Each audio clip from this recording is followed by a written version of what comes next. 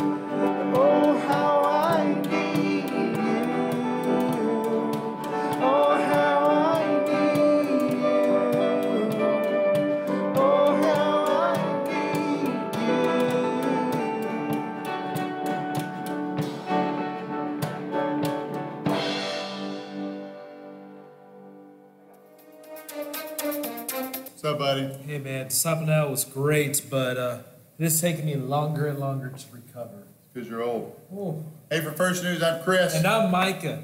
Chris, I gotta tell you something. Okay, There's two nights I'm very excited about. okay, One is a Nerf night with the teenagers. Okay. It's gonna be a Nerf night. It's for youth only. okay, We're so excited. okay, But Ginger, the children's ministry, yes, they have something coming up. Okay. They have Nerf and nachos. Wait, those are two things that I like. Right? Yes. Those are two of the greatest things ever. Nerf Okay, and nachos Okay. coming up just for the children's ministry. okay, It's, it's going to be great. She's going to have so much fun. Okay. And here's the great part: if uh, you're you have a kid, and they're like, I really want to go to that, but you- yeah, but you don't have a Nerf weapon. Ginger bought a bunch of Nerf weapons for those who don't have their own. that explains her office. Right? Thought that was your office. No, I, I did too. I've walked into it several Okay, times. so when is it? So they're they're going to have nachos, so it's Uh-huh. dinner's covered. Right, You know, it's it's going to be good. okay, and it is, They got the Nerf blasters. Bring your own, or use some of Ginger's. it's, when is it? Yeah, queso, like queso, like queso cheese, like cheese What- on the How do I know nachos. when to come? What? Like, how do I find out about it? I just told you. Okay, No, you find out about it by coming to uh, to to Bible study Oh. or to Wednesday nights. Oh, Ginger okay. is going to talk about it then, but she's only given out the day and the time during Bible study and on Wednesday nights. so be here Sundays and Wednesdays, Be here Sundays and Wednesdays. and you'll find out about Nerf and nachos. Nerf and nachos. Okay, so let me ask a question. Yes. If I have my own Nerf gun Mm-hmm. and I like nachos, I am the family pastor, can I come? Well, you know that's an excellent question. Now, I'm a youth oh, pastor. Oh, and these are probably future youth. These are future youth. Okay, so- I also like Nerf and nachos. So, we will see you there for Nerf and nachos. That's right. So, for First News, I'm Chris. And I'm Micah.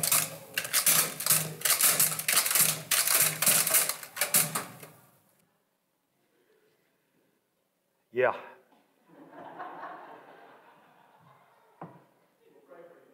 Thank you. Thank you. Every day. Every day. Somebody just leaned up and said, You work with those people. I know. We are glad that you're here. Are you glad you're here? As is normally the case with this particular service, we'll have more filter in over the next uh, 15 minutes. But uh, glad that you are in here today. Uh, if you are a guest with us, as I look around the room, I don't see too many, but if you are a guest with us, uh, fill out the card that is in the pew right in front of you, the yellow card. You don't have to worry about filling all of that out. Uh, you can if you'd like, uh, but put, give us your name and your phone number, and we'd love to uh, reach out to you this week, let you know a little bit more about our, our church. Uh, we are just glad that you're here today. And we are working through, you're going to hear more and more about this as we go through this morning. We're working through Colossians 3 12 through 17. Today we're focused on peace. We all need God's peace from time to time. Some, some days better, more so than, than others. Uh, but I'm glad that you're here today to hear about God's peace and what He wants for you. So let's begin our time of worship together in prayer. Father, I thank you for calling us here, for choosing us, for setting us apart to serve you. Lord, I pray that today that you would be glorified in all that happens here today. Every song that is sung, every note that's played, every word that is spoken. And Father, I pray right now for every person that is in this room and those that will filter in momentarily that we would be able, you would give us the strength and just the clarity to be able to focus our attention on you for the next hour. We often pray for you to come and be here, but God, your, your word says you're always with us. You never leave us, you never forsake us. The problem is we're usually looking elsewhere. So this morning, right now, Lord, help us to set aside the distractions and focus intently on you. Be glorified, as I said, in everything that is done as we lift our hearts to you. Jesus, it's in your name we pray it. Amen.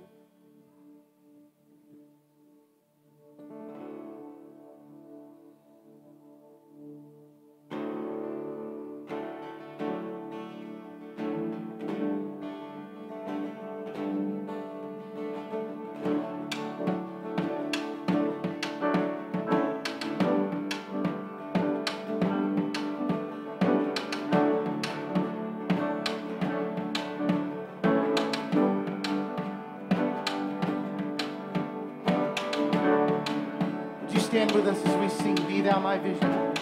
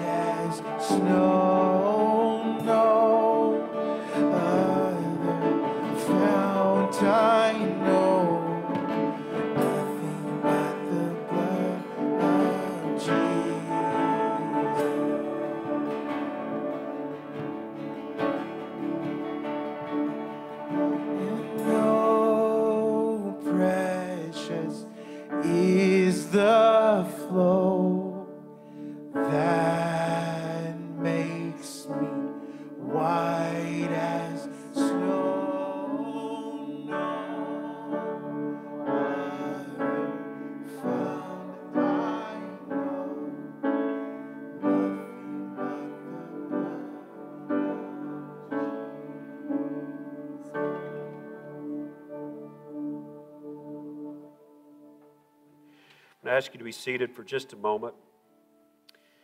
I don't know, I, I don't make it a big habit to watch the news, but if you watch the news, you know that uh, our world is struggling.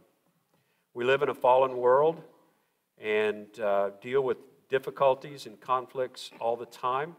And then personally, we each have struggles and things. Just today alone, uh, hearing from many of you in this room and those in the first service, there's, there's folks that have had not such a great week and then those that have had good weeks, and we're going to have those. But today, what I want us to focus on is the fact that regardless of what kind of week we are having, what kind of struggles we are facing, Jesus offers us peace. And so I want to do something maybe a little uncomfortable for you, maybe different for you, but I'm going to ask you to stay awake, but close your eyes and focus your attention. What, what's the first thing that comes to mind? For some of you, it may be what's for lunch, uh, things that you've got to do this afternoon, maybe that person that cut you off in traffic on the way here. All these things compete for our attention. But right now, I want you to just let those things go. As I prayed as we began, God is always here. He never leaves us, He never forsakes us. His word says, where two or three are gathered, I'm right there in the middle. The issue is never Jesus, the issue is always us. And are we paying attention? Are we focused? And so, right now, I would just ask that, that you let those things go and focus on the fact that the very Son of God, the one and only Son of God, left his place in glory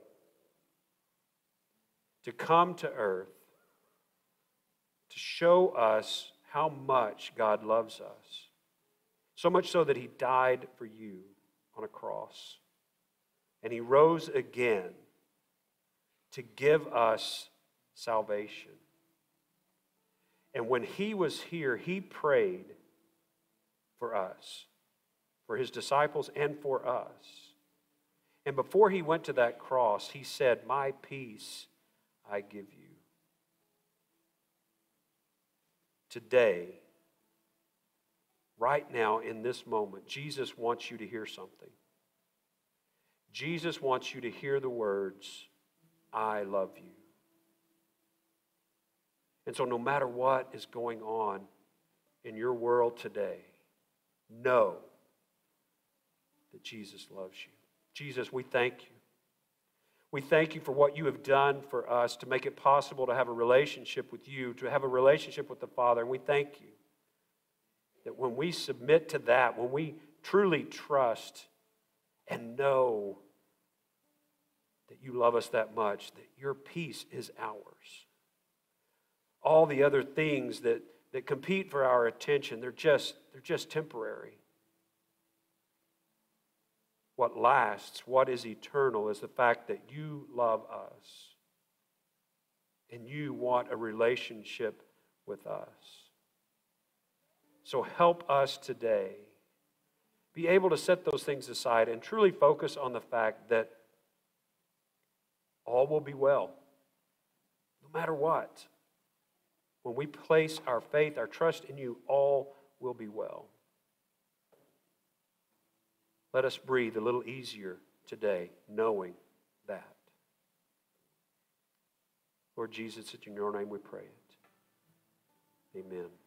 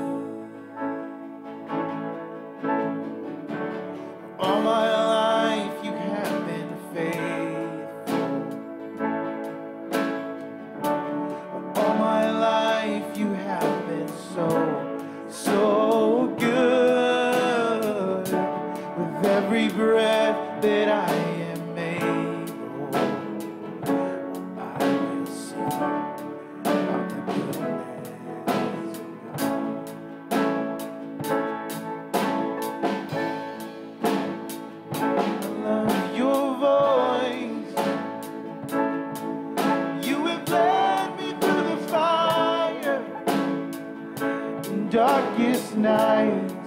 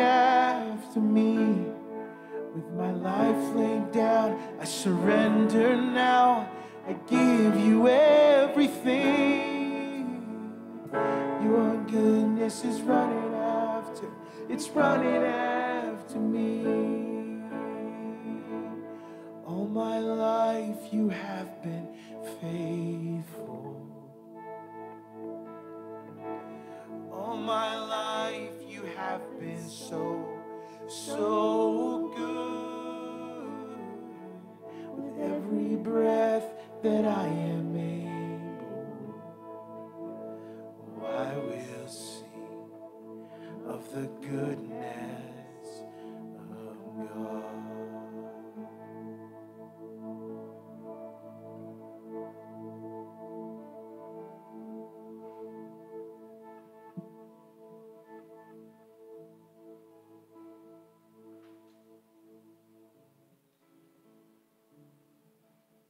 Morning, church. You may have a seat.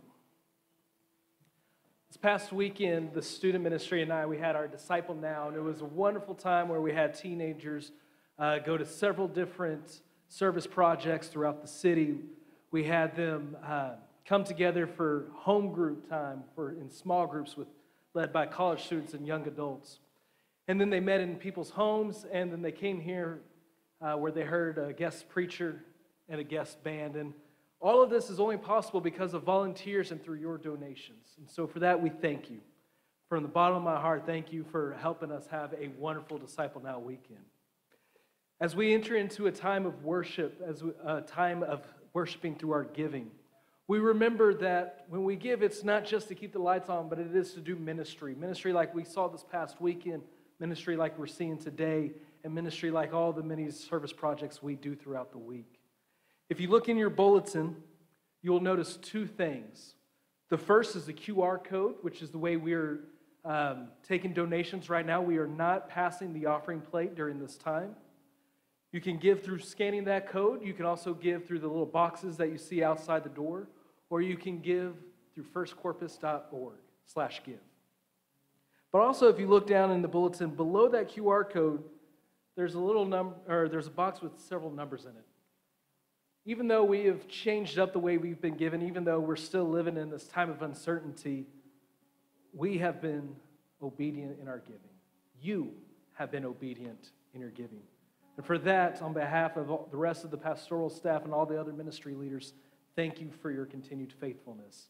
We are above budget in a way that we never thought we would be in a time when we're not passing the plate, so thank you for that. So, for this next few moments, let's pray and let's prepare our hearts to worship God and to give back to Him that which is already His. Heavenly Father, you are good, and you are so faithful. And when we worship you through our giving, we are reminded of how good you are. We are reminded of how much you have already given us. And we thank you for that, Father. Lord, we thank you for the opportunity we've had to do so many different ministries this year. And we thank you as we look uh, into the spring and into the summer of all that you have already planned for us. God, I thank you so much for everyone in this room who's already been obedient. We love you, Lord. It's in your name we pray. Amen.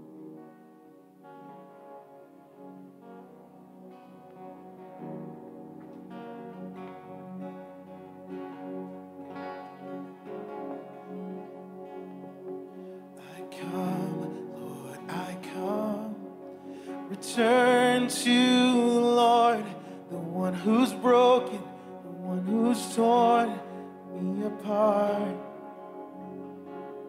You struck down to bind me up.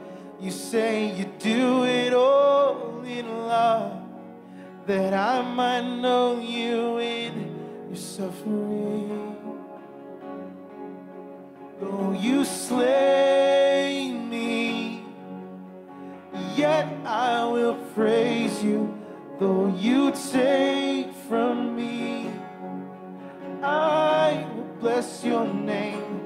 Though you ruin me, still I will worship. Sing a song to the one who's all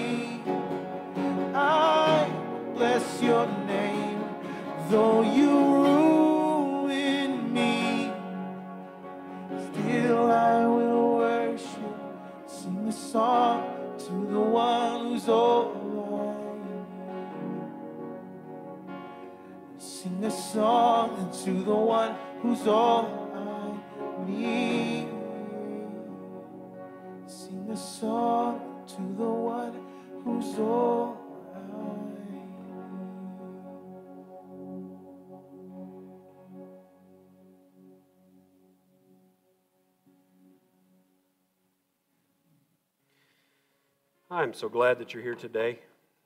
And I'm glad I'm here today. I hope you're glad you're here today. We have been working through this passage, Colossians 3 12 through 17, for several weeks now, and going just uh, taking it a little bit at a time. We spent a considerable amount of time in just in verse 12 alone because of all the virtues of compassion and kindness and gentleness and patience and those things.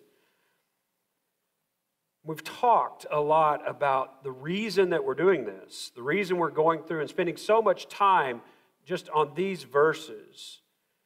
And the reason is, and it's right there on the front of your bulletin, that we are to live the difference. When we let people know that we are believers, that we believe that Jesus is the Son of God, that we have given our lives to Him, then our lives should look differently. Our lives should should point people to Him. And so, the purpose of this series is really to help us understand the importance of, of our lives looking differently and the importance of pointing others to Him, but also how we do that and what that looks like. And, and so, we've been working through this and again talking about uh, how important it is to truly live lives that are worthy of the name of Jesus, live lives that are worthy of, of being His child. And as I said, this passage really speaks to the fact that, that we are to exhibit these traits so that people see that difference in us. But today I want us to focus on, on peace. Because right in the middle of this passage, Paul says, Let the peace of Christ rule in your hearts, since you are members of one body you are called to peace. We are to be people of peace. And the reason this is important, and I think the reason that Paul put it here, God inspired Paul to put it here. These are God's words through Paul. The reason that is here is we can't really live with consistency, with compassion and kindness and humility and gentleness and patience and forgiveness and love if we aren't secure in knowing whose we are. In knowing and having that peace, that, that part with, deep within us that knows that God is for us, that God is with us. And so I want us to really focus on this idea of peace and letting that peace rule in our lives. Isaiah chapter 26, verse 3 says, You will keep in perfect peace those whose minds are steadfast because they trust in you. He goes on in verse 4 Trust in the Lord forever, for the Lord, the Lord Himself, is the rock eternal. He is trustworthy. And so he says that when we keep our minds steadfastly on Him, on this rock eternal, we have His peace. Let me read this text in full because most of you probably know this by now, but the challenge that I set before you at the beginning of the year was to read Colossians 3 12 through 17 every day between now and Easter, and then work on one of the virtues that you find here for a week. And so, for those of you who have, who have not read the, the text today that are following along, and let me do that, and then you can check it off your list. Beginning in verse 12 of Colossians 3. Therefore, as God's chosen people, holy and dearly loved, clothe yourselves with compassion, kindness, humility, gentleness, and patience. Bear with each other and forgive whatever grievances you may have against one another. Forgive as the Lord forgave you. And over all these virtues, put on love, which binds them all together in perfect unity. Let the peace of Christ rule in your heart, since as members of one body you are called to peace. And be thankful. Let the word of Christ dwell in you richly as you teach and admonish one another with all wisdom, and as you sing psalms and hymns and spiritual songs with gratitude in your hearts to God. And whatever you do, whether in word or deed, do it all in the name of the Lord Jesus, giving thanks to God the Father through him. Let the peace of Christ rule your hearts. Since, as members of one body, you are called to peace. I want us to think about this idea of peace. We're going to spend quite a bit of time here this morning talking about what peace is, what it's not. When you think of peace, how would you define it? What comes to mind? Not rhetorical. Okay. Remember earlier when I said close your eyes and don't fall asleep?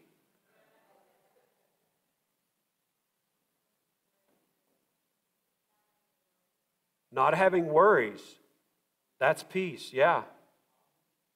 What's that? Calmness. The, the dictionary defines peace as a state of tranquility or quiet, such as in freedom from civil disturbance. It also offers freedom from, disqu- freedom from disquieting or oppressive thoughts or emotions or harmony. So if you look it up in the dictionary, that's what you'll find for the word peace. But from a biblical standpoint, I think it goes deeper than that. Peace, a lot of times when you think about peace, and in fact, the very first definition within the, the dictionary is this sense of tranquility uh, as freedom from civil disturbance. In fact, a lot of times you may think of there's war and then there's peace. But really, what, what I've heard is, is really more along the lines of what the Bible would suggest. We know it's established fact if you've been alive more than five minutes, and I'm looking around the room and I don't see any five minute year olds if you've been alive, you know that the world is a broken place. And you're going to have good days and you're going to have not so good days. And sometimes those days seem to stack together into not so good weeks. That's part of being human, that's part of the human condition. But as believers, we can have peace in the midst of that. So, from a biblical standpoint, peace eirene is the Greek word. Peace is not the absence of struggle or difficulty. That's not peace. Peace is freedom from fear and anxiety. That's peace. Those uh, emotions, like you talked about, not having those things. It is a blessing from God that overrules anxiety that overrules worry. Why is that so important to understand?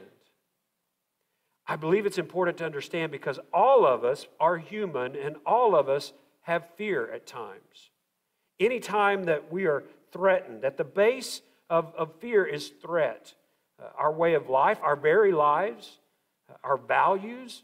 There are lots of things in our world that will threaten us, and that natural response to that is fear. But Jesus came to remove fear, to remove anxiety, to give us peace, not by taking the struggles away, but by reminding us that He is bigger. He has already conquered whatever we face. when we surrender to Him, when we do what Isaiah 26 3 says, to put our attention on Him, to focus on Him steadfast, then His peace is ours. It's when we let our distractions take over and we take our eyes off of Him that fear enters in and we don't experience His peace. But it's about surrender, it's about trust. I believe at the base of peace is trust. Why? because we need to know that God is bigger than what we face. The book of Hebrews tells us that Jesus came as our high priest, and it says that he was tempted, he experienced life in every way that we do, except without, without sin. So Jesus knows what you are facing. Regardless of the struggle that you face today, maybe you're having a good day, maybe you're not having a good day. Maybe you've had a really good week. I talked to two or three people uh, this morning already that said, This has been one of the hardest weeks in my life. And we're going to have those. So Jesus never said, Come to me, all who are weary and heavy laden, and I will take all of your problems away. That's not what he said at all. He said, Come to me, you who are weary and heavy laden, and I will give you rest. I will give you peace.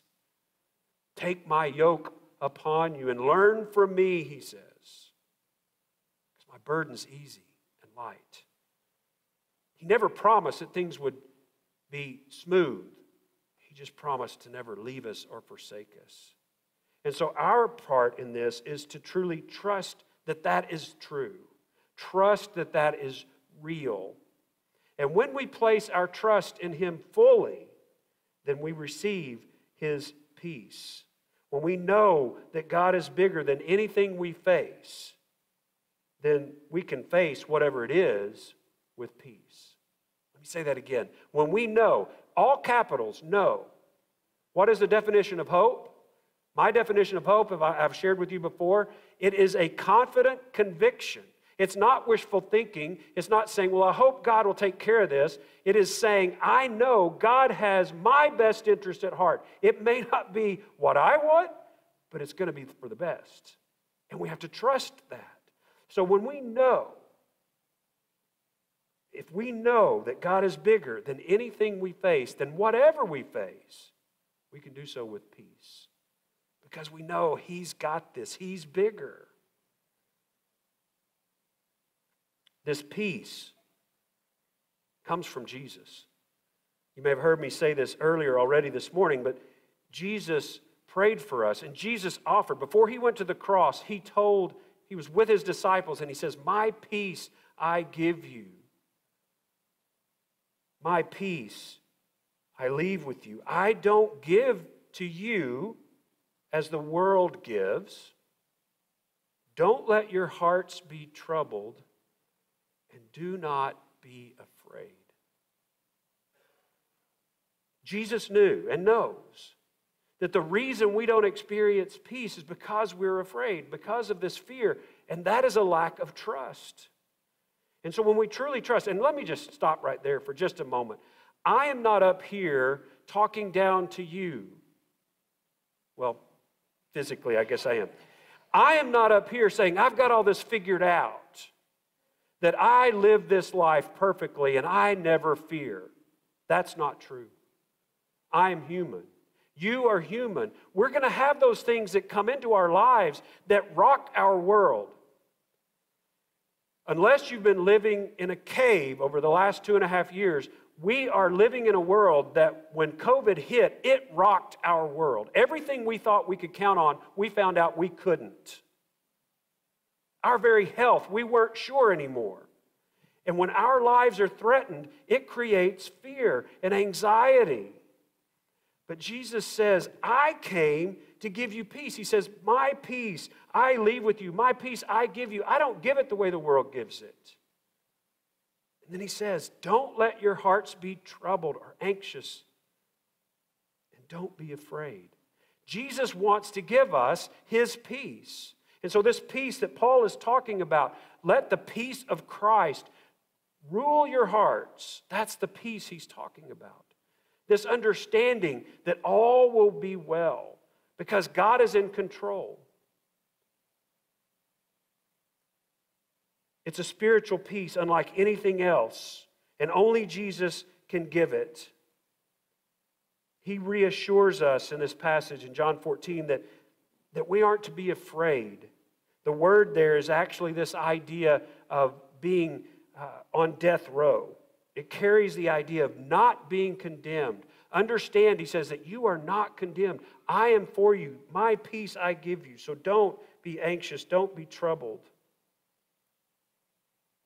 As I said, peace is not the absence of difficulty or struggles, it is freedom from fear and anxiety.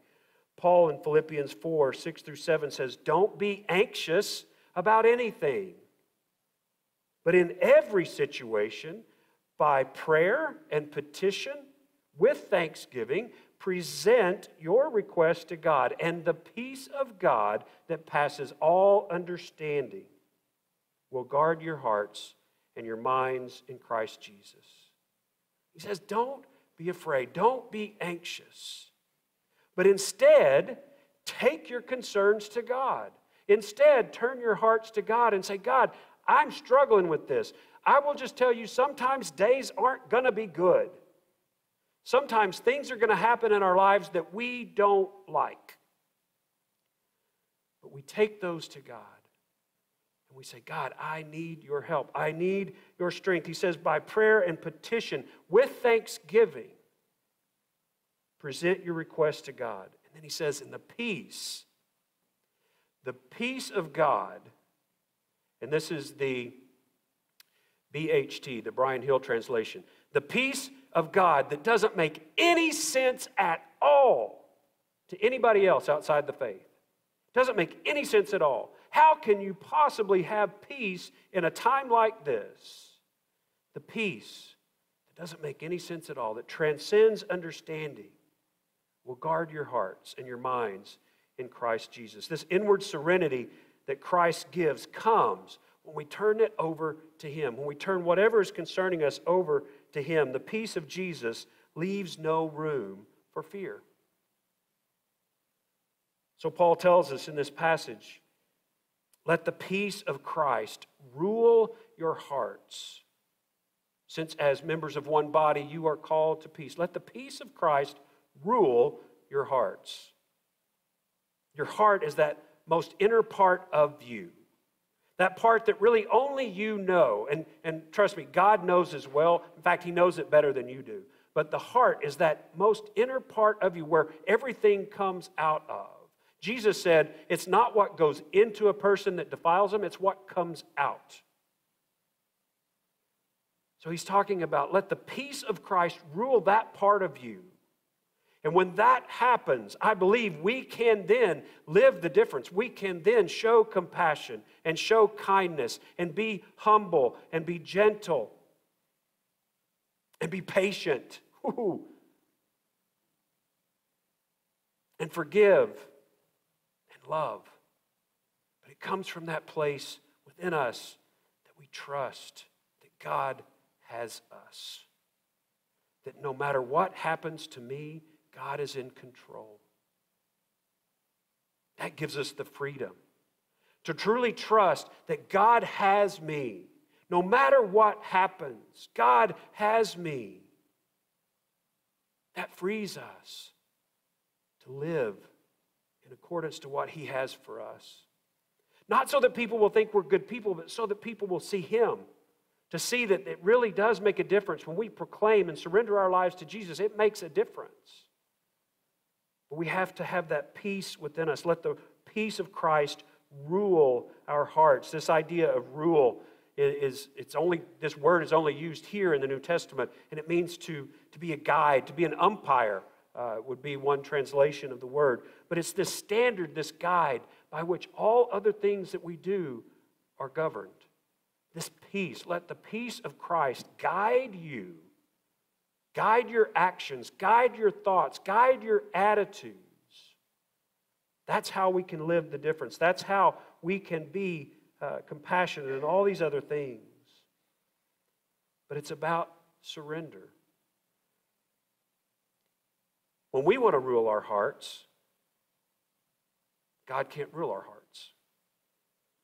That's why Paul says, let the peace of Christ rule. Let that rule. Then you can do these other things. What directs your thoughts? What directs your attitudes, your actions?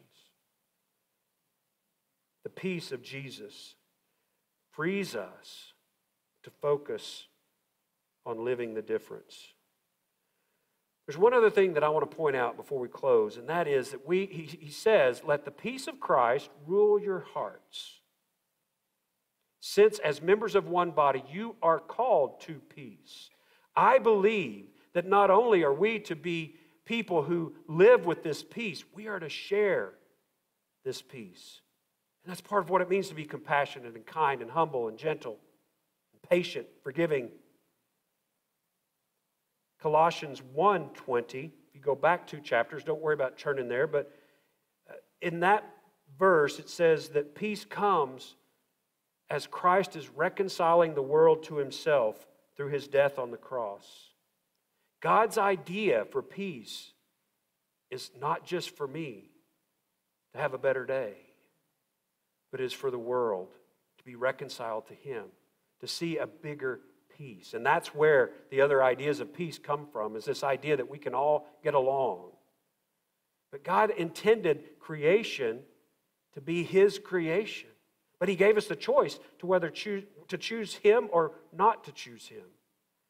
And what he created for good, we've demented through our sin, and it needs redeeming, it needs reconciling. So that's why Jesus came. And he came to bring this reconciliation, which will bring peace. And then he says, You are my instruments of peace. Let the peace of Christ rule your hearts, since you're to be people of peace. Members of one body called to peace. We are called to be his instruments of peace. But we can't do that if his peace doesn't rule our hearts. Think about the impact. Think about the difference that our community would see if our church, our family, were truly ruled by his peace.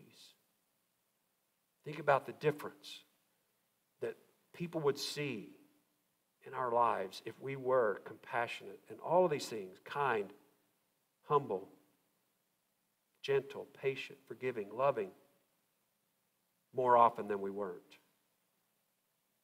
That's a testimony. That's the difference that the world needs to see, that God created us to see. Jesus said in the Sermon on the Mount in Matthew 5, He said, Blessed are the peacemakers because they will be called the children of God. We are to be his instruments of peace. So it's not just that we have this peace within us, but we exude that peace. People see that peace. We offer that peace.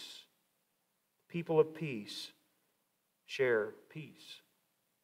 So I want to challenge you today to remember who you are, to remember whose you are. That's more important. You are a child of God, chosen, holy, set apart, loved. Because of that,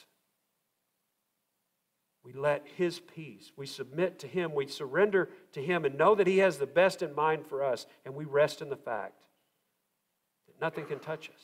God is bigger. And because of that peace, we can be instruments of peace. So, my challenge let the peace of Christ rule in your hearts today. And remember that we are to be instruments of peace, to share His peace. God has a plan. God has a plan for this church, but more importantly, He has a plan for you. And that plan involves letting Him rule your life, letting Him use you to make a difference. May He find us faithful in truly living the difference for Him this week. Let's pray together. Lord Jesus, we thank you for offering us your peace. Your desire when you came to this earth was to bring us your peace so that others might see the difference it makes in our lives and be drawn to you, not drawn to us, not drawn to us being good people, but drawn to you. And so, Lord, today I pray that you would help us remember that we are your children and that you love us no matter what, and you are always with us. So, no matter what we face, no matter what we are looking at today or this week, you're bigger. You are bigger. And there's nothing to fear. You are already victorious. So help us live in that understanding today and receive the peace that comes in knowing who you are. Thank you for that. In your name I pray it. Amen. Just a moment, I'll have you stand for a time of response. I don't know how God's working in your heart and in your life today. Some of you may be having a really good week or a really good month, and you think, man, God is good. And let me just say, God is good all the time. And all the time, God is good. But it doesn't mean our life is good all the time. But we remember that God is good. And so I don't know how God is working on your life today, where you are in this, but let me just tell you that God offers His peace when we surrender to Him. So maybe during this time of response, it's just a time for you to open your heart to God and say, God, I need that peace. And if you've never surrendered your life to Jesus and experienced that peace, I'd love to talk to you about what that means and how you do that. If you'd like prayer, we'll be here.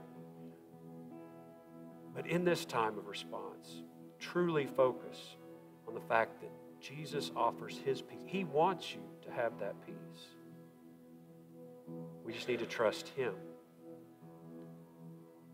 Focus on that as we stand and sing together.